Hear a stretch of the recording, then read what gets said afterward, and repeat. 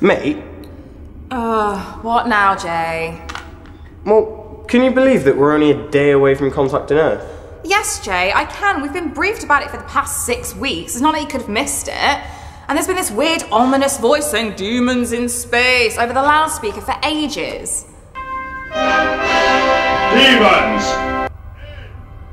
Nice! Okay, I know, and I'm really excited and everything.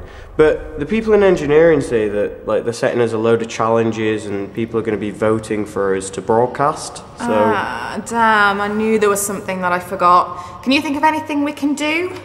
Uh, oh, we could do an insane spacewalk in space.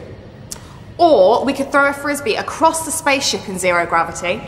Yeah, no, that's not going to work because artificial gravity. Oh, yeah. Well, we could. Oh, assemble an, an escape pod and and like build it and ride it and stuff. While beatboxing and, taking, a selfie. Oh yes. Ah. No. No. What? What? I have a better idea. I'm a genius.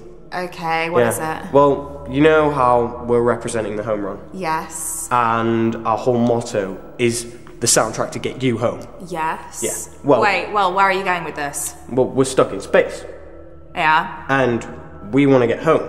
Yes. So, how about, you know, and hear me out, Yeah. but how about the soundtrack to get us home